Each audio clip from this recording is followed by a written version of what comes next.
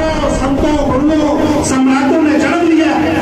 आप उस विचारधारा को छेड़कर चोरों के साथ चले चोर जो कभी देश को लूटने आए थे, वो आज तुम्हारे बन गए ये तुम्हारी नालायकी है, लाचारी है, और फिर भी तुम विद्वान बनते हो अपने आप को। कहते हो, मैं बहुत ज्ञानी हूँ, मैं भाषण दे लेता हूँ। सारी ऊर्जा इस समय आप मैत्री पर लगाइए। अगर आपने एस सी ओबीसी माइनॉरिटी के सब लोगों को साथ नहीं किया, ना तो कभी बड़े व्यापारी बन पाओगे, ना आपकी परचूनी की दुकान चलेगी, ना आप प्रधान बन पाओगे, ना एमपी एमएलए बन पाओगे, ना शासक बन पाओगे। मैं बताना चाहता हूँ सुल्तानपुर के लोगों, आज के 30 वर्ष पहले मान्यवर कांसी राम साहब उत्तर प्रदेश में आए कि नहीं आए? और उनके पास कौन सा पैसा था? साइकिल से चलते थे रूखी रोटी हमारे लोग खिलाते थे और सभी जातियों को जोड़ा कि नहीं जोड़ा? और बिना पैसे के, बिना साधन के एमपी एमएलए बने कि नहीं बने? आज कौन सा तुम्हें साफ़ सुन गया है?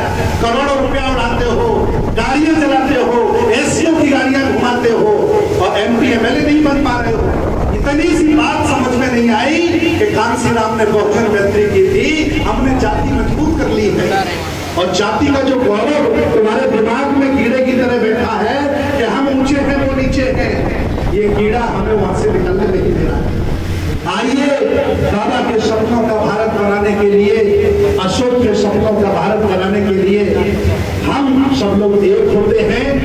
अपने अपने संगठन बनाए रखिए, लेकिन जब विचारधारा की बात आए तो हमें साथ खड़े हो जाना चाहिए। मैं आज, मैं बड़ा ही गर्व महसूस कर रहा हूँ। मेरे शॉर्ट नोटिस पर अगर इन्हें कोई नेता लेकर के आता, किसी भी पार्टी का तो तुम लोग आते?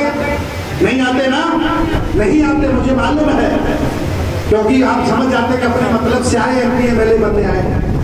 हम लोग हज़ारों साल की वो विचारधारा, जिस विचारधारा ने हज़ारों लोगों को पैदा किया है, उस विचारधारा की बात करने आया हूँ। और ये विचारधारा अगर ज़िंदा बनी रही तो तमाम नेता पैदा हो जाएँगे मेरे जैसे बौद्ध भिक्षु पैदा हो जाएँगे अगर विचारधारा मर गई तो फिर कोई पैदा नहीं होगा। इसलिए विचारधारा हमें बचानी है, जो महापुरुषों की विचारधारा है। चलते चलते एक बात मैं आपसे कहना चाहता हूँ। बहुत बहुत धन्यवाद। आप दान भी देना चाहें तो दे सकते हैं, क्योंकि पैसे से से काम चलते हैं। लेकिन अभी बैठिए फ़िलहाल बहुत बहुत धन्यवाद।